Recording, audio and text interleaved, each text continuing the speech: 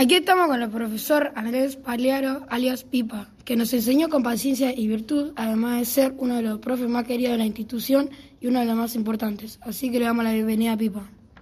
Gracias, Maxi. La primera pregunta es, ¿qué es, lo, ¿qué es lo que más te gusta de tu trabajo? ¿Qué es lo que más me gusta de mi trabajo? Eh, el, el vínculo que el vínculo que, que genero con mis alumnos. O sea, enseñar. Lo que más me gusta es eh, transmitir un, un conocimiento y hacer mejor a, a la, a la persona que tengo, intentar hacer mejor a la persona que tengo delante.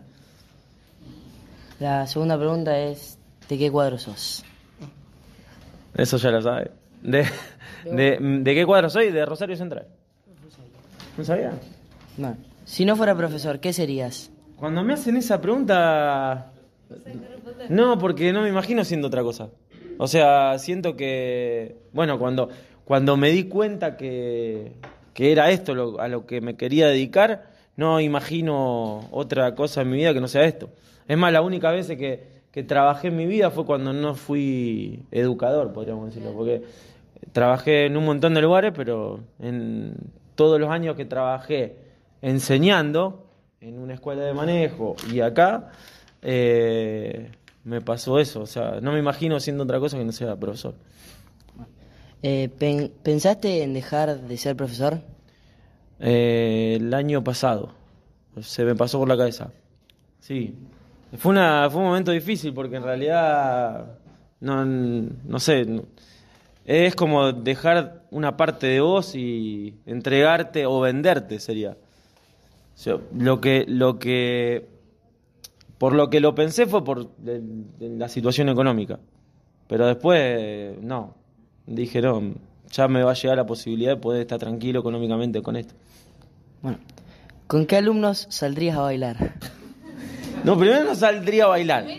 Primero no, sal, primero no saldría a bailar porque no me gusta. Pero en el caso de que saldría, no sé, con, con cualquiera. Con cualquier alumno me, me sentaría así a ver los, las boludeces que hacen. y me reiría de las cosas que hacen ustedes nada más. Pero no, no saldría a bailar porque no me gusta. Saldría a jugar un pool o tomar un café con cualquiera, cualquiera de mis alumnos hasta ahora. No importa cuál. Eh, bueno, ¿a qué le tenés miedo? Eh... No, no. No, no hay curso al cual le tenga miedo, no, no hay algo que puedo decirte, porque la mayoría te dice, no, le tengo miedo a la muerte. Yo en realidad no, no le tengo, no, no tengo miedo. No, vivo, vivo feliz y tranquilo de lo que, lo que me toca. ¿Por qué te gusta jugar el fútbol? Porque el, el fútbol es un deporte hermoso. Tiene todo el fútbol. Eh, un deporte en equipo. Eh, nada, yo lo relaciono con la vida misma el fútbol, así que eh, no sé, está buenísimo. ¿no? Lo de- dejé de jugar al fútbol porque ya el cuerpo ya no me da más y por eso empecé a jugar al ping pong. Pero sí, y el otro día jugué al fútbol con los chicos de tercero. Sí, y me pegaron un cuerpazo acá, tengo la costilla fisurada, me parece. Sí. Pero no, no, no. El fútbol es. El fútbol para mí. eh, mira, me voy a poner más, más reflexivo. Cuando en mi casa había quilombos, cuando en mi casa había problemas con mi- mis viejos, o sea, se peleaban mis viejos, había problemas en mi casa, el fútbol me, era como un refugio y me olvidaba de todo. Yo jugaba al fútbol y me olvidaba de los problemas que tenía en mi casa, todo. Entonces yo con el, al fútbol le debo la felicidad también. Siempre fui feliz jugando al fútbol y lo soy. Bueno, ¿nos contás un suceso que te marcó en la vida? Y hay varios. Eh, si ya llevándolo al plano de la educación, cuando di mi primer clase particular, que tenía 19 años, estaba estudiando profesor de matemática y me acuerdo que le estaba dando una clase a una nena que tendría 7, 8, o sea, estaba en primaria. Y le estaba enseñando a multiplicar, o sea, muy elemental.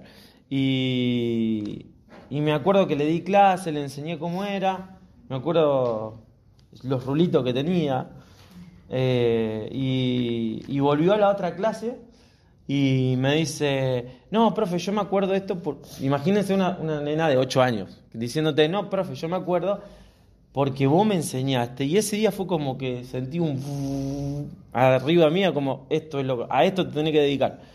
Eh, fue así como un momento. Eso, eso me marcó hablando de, claro, hablando de este momento. Eso no me lo olvidó más. Es más, la, nena ya debe ser una chica de 20 años, porque eso fue a los 19.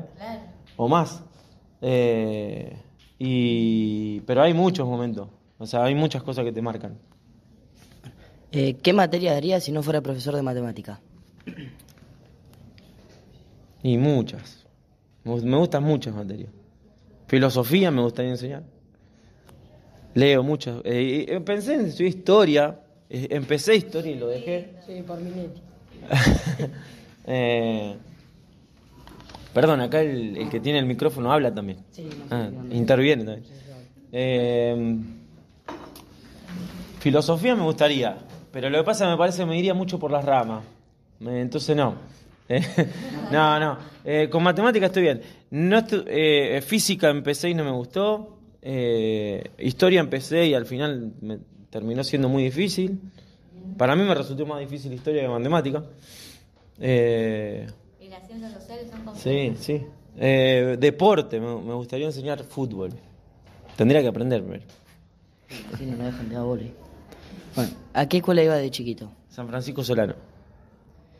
¿Qué harías si te volverían a robar? Eh, le digo, le digo, no, no, si me robaron como 20 veces ya. Sí, me contaron todo, todo Sí, sí, sí, le diría, tranquilo, tomá, sé que es tu trabajo, yo, toma la plata, déjame la billetera, tranquilo. Salvo que esté ahí en una situación en la cual veo que puedo tomar alguna otra otra acción como, no sé, pegar una trompada. Pero, pero si está, eh, las últimas, las últimas las últimas veces que me, robaron me, apuntaron con un arma, entonces no se puede hacer nada frente a eso. Si pudiera correr, corro. pero bueno, pero sí, son, situaciones difíciles, no sé. ¿Cómo fueron tus inicios en la docencia? Eh, lindos, eh, porque la primera escuela que me dio la posibilidad de trabajar sin tener el título, me faltaban dos o tres materias, fue eh, el Zona Oeste eh, que es una escuela donde ahora tengo las titulares, y, me acuerdo que el director me dice, bueno, eh, no le digas que es tu primer clase, ¿eh? vos andá, encará, entonces entro al salón y le digo, bueno chicos, es mi primer clase, y, bueno, son las inseguridades que uno tiene, que se llaman pim pum pam, pero bueno, sí, lindas experiencias, mucho, mucho aprendizaje en los primeros días. ¿Qué es lo que más te motiva? Ayudar a las personas. ¿Qué música escuchas? De todo, pero ahora estoy escuchando Metallica, por ejemplo. Pero puedo pasar de Metallica, Fito Páez, José Larralde, música clásica, eh, pop. Eh, voy. Sí, sí, yo. La música es un estado de ánimo para mí, así que en, en todo momento me acompaña la música en las cosas que, que hago. Así que me siento, me siento como me siento, a veces que tengo ganas de escuchar música que me hace sentir más triste, bueno, pongo música que me hace sentir más triste. ¿Qué hiciste después de que terminaste la secundaria? Trabajé. Eh, me, le di, a ver, fue, fue raro. Termino la secundaria, en diciembre me llevo seis materias. Desastre. Había faltado 24 veces y media a la escuela. O sea, soy un ejemplo de lo que no hay que hacer en quinto año. ¿Eh? No, pero yo estaba en quinto cuando hice eso. ¿Eh? Eh, sí. Y bueno, saco dos materias en diciembre, saco dos materias en febrero y me habían quedado dos materias para julio. Entonces, bueno, eh, me anoto para ciencias económicas, porque todos mis amigos del curso estaban en ciencia económica, y bueno, hago el cursillo y no me gusta. Pero mi mamá me había dicho que tenía que estudiar algo, porque si no, no iba a ser nadie en la vida. Y entonces le, dije, no, mami, mentira. Ya sabe que mentira, o sea, eh, no me van a aceptar la facultad porque tengo dos materias previas. Me daban un tiempo, pero yo no quería estudiar eso. Entonces me dice, bueno, está bien, eh, pero algo va a tener que estudiar. Eh, ahora anda a trabajar. Y bueno, empecé a hacer changuita. Laburé en un kiosco, en un lavadero, en una tintorería, así. Y al otro año empecé el profesorado. No fue directo, no sabía que iba a ser profesor. Fue, fue después. Me gustaba la matemática, pero no, no sé si, no sabía que me iba a gustar enseñar. ¿Cómo se compone tu familia? Eh, mi familia, mi esposa, con mis dos hijos, y después está mi mamá, mi papá y mis dos hermanos. ¿Cuál es tu jugador de fútbol preferido? Eh, no sé, son tantos los jugadores buenos que uno vio, ve y todo. ¿Qué sé yo? Eh, no sé, no sé cómo re- no sé cómo responder. Te, pod- te podría decir Messi, pero es como que bueno, todo, a todo el mundo le gusta Messi. Pero te podría decir Lo Chelsea, por ejemplo. Lo Chelsea. Para no elegir el que el, elija. Marco Rubén también, sí. Rodrigo Fontanella. Emiliano Vecchio. ¿Qué harías si ganas la lotería? ¡Ay, qué espectacular! Sí, primero y principal seguiría trabajando. Hago una escuela. Y con lo otro. No, vamos así. ¿Cuánta plata ganaría? Decime. ¿Cuánto? ¿Cuánto? 400 millones. Bueno, le regalo 2 millones a cada uno de los integrantes de mi familia. Y después trato de hacer una escuela y con lo que me sobra me arreglo la casa, no sé. Yo no, lo que pasa es que una opción sería irse del país con esa guita y estar en un lugar con más tranquilidad, pero lo que pasa es que Tenés toda tu lo que pasa es que acá, esto lo- acá uno tiene los afectos acá. Entonces, sí, un montón de veces pienso en irme. Es una pregunta. bueno, y sí. Y sí, y sí, no salía mal, no salió mal. No sé, pero la verdad que no no tengo claro. No tengo claro si si cambio. Sé que seguiría trabajando, o sea, no dejaría de trabajar. De última, no sé, daría clase en mi casa o me pondría un instituto para dar clase particular, qué sé yo, no sé. Pero no dejaría de trabajar. Eh, sí, me compraría una casa, ponele. Le daría algo guita a toda mi familia y, y no, no, no sé, no. nada más. Si no viviera en Argentina, ¿en qué país te gustaría vivir? Eh, en Uruguay, supongo. Porque hablan el mismo idioma.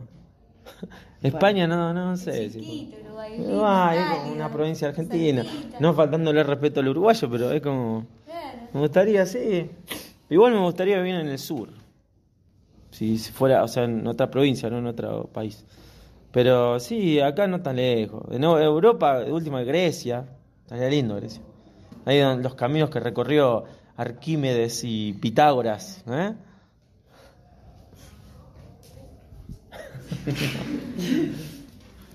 ¿Lugar preferido para irte de vacaciones? Eh, me he ido pocas veces en mi vida de vacaciones, pero si elegiría un lugar sería Santa Rosa Calamuchita, Córdoba. Eh, lindo lugar ese. Un lindo lugar ese. ¿Por qué decidiste hacerte youtuber? Porque se le recomendaba a mis, a mis alumnos videos de profe Alex, viva, de, viva, profe, escuchá, de, de Julio Profe, de otros profesores, y dije, si ellos lo están haciendo, ¿por qué yo no?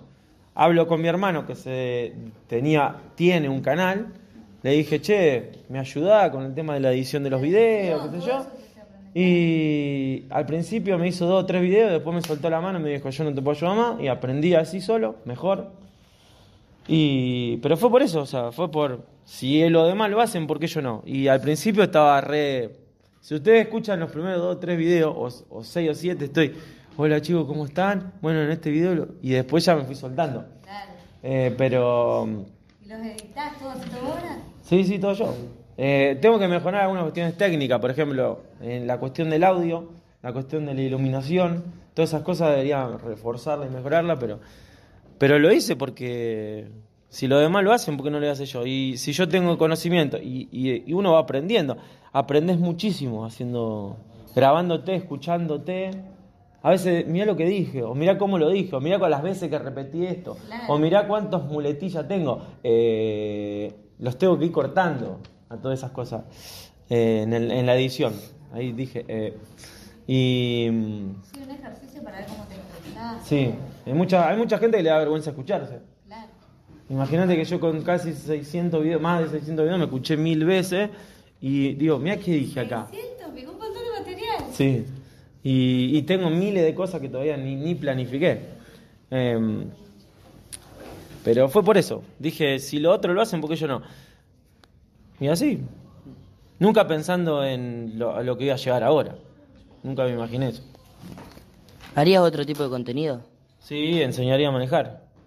Como los gallegos que tienen escuela, ¿viste? Mira, me haría re falta, Pipa, porque no sé estacionar. Tengo todo. Hace años que me quiero sacar el carnet y no Perdón, me sé tengo todo preparado como para empezar a grabarlo. Tengo una cámara que grabe la circulación, tengo todo listo, pero lo que pasa es que necesito... Tiempo. Sí, aparte, no es lo mismo poner una cámara en el quincho y grabarte así que salir a la calle, poner cámara en los espejos. Requiere una organización diferente. mucha producción. Aparte necesita varias cámaras. Porque necesita Claro. una acá, una de los espejos retrovisores. Pero sí, eso me gustaría. Eh, me gustaría tener un programa de radio haciendo directos, por ejemplo. Educación y rock. No, es-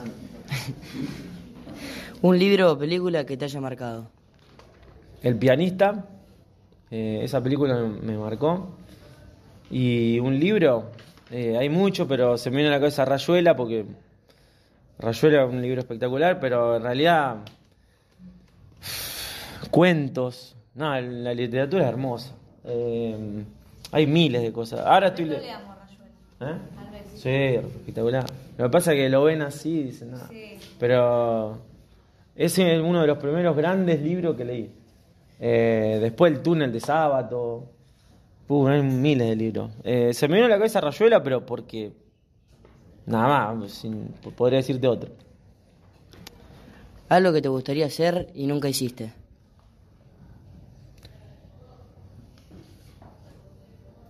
Estoy satisfecho. Eh, sí, a ver, pará. Estoy satisfecho. Si siempre uno se pone algo más. No es que digo, bueno, ya estoy realizado, ya estoy hecho. Me- siempre me, me- me pongo un objetivo por delante. Yo con mi esposa siempre decimos que va- nos ponemos, usted, eso de la zanahoria delante del burro para que vaya para adelante, bueno, siempre no- nos cambiamos la zanahoria y nos ponemos algo, un objetivo más. Eh, qué sé yo, ahora sería no sé, conocer otra ciudad, eh, eh, no sé, eh, trabajar en, en otro establecimiento o trabajar en la universidad o...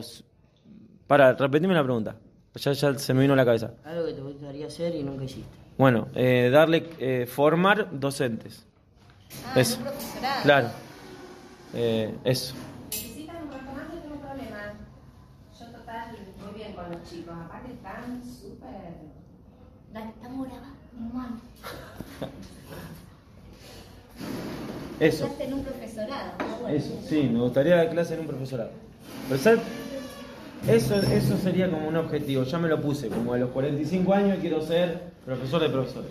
¿Y cuánto años tenés? Formadores, 36. formadores. 36, me falta. Tengo tiempo. No es que yo voy a seguir estudiando, olvídate. Nunca me llamaron, nunca me llamaron. No me llamaron, no pasa está nada. en público. ¿no? Sí, lo- ya me anoté este año, me anoté. Pero bueno. Bueno, y la última pregunta es, ¿cuál ha sido tu mayor logro? Eh, poder eh, voy a ser general y, y después concreto en la, en la última respuesta Eh, poder eh, enfrentar las dificultades y no y no venderme por la plata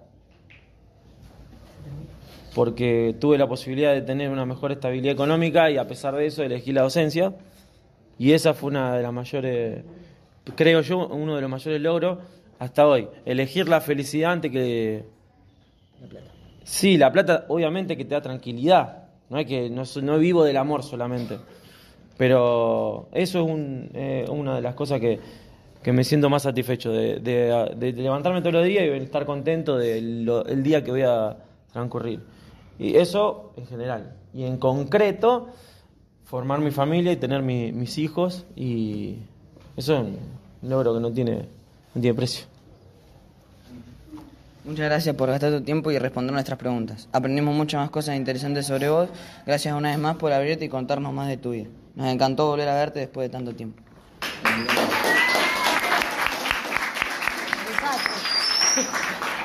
Cortalo vos.